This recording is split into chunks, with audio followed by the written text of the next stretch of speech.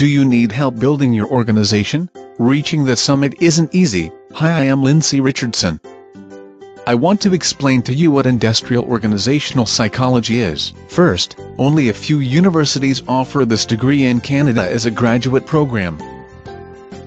Because of this you probably don't know much about the field. It is the scientific study of human behavior in the workplace and applies psychological theories and principles to organizations.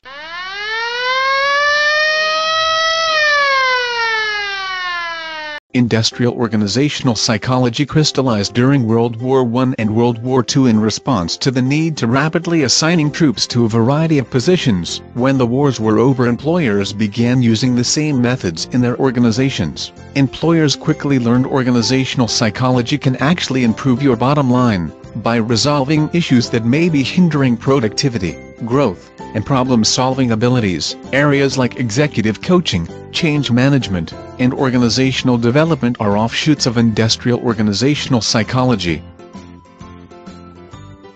Basically practitioners are the doctors of organizations. To be honest, Doc, I don't know why our employee turnover is so high. I hope you now have a better sense of this area of psychology. Bye for now.